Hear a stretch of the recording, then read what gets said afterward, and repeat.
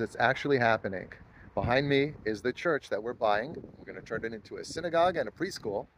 And we're closing on Thursday. That's in two days. We're going to do a little walkthrough of the building and see how they left it for us. Where are we going to put the mezuzah? Right over here. All right, let's go inside. See what we got. Shema Yisrael Hashem Eloheinu. I can get used to this. They left more benches over here. And from the chapel, we have a little kitchen. Got to make it kosher.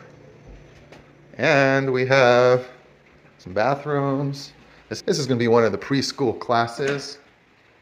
This is so exciting that in such a short amount of time, we were able to raise most of the money needed to purchase this place.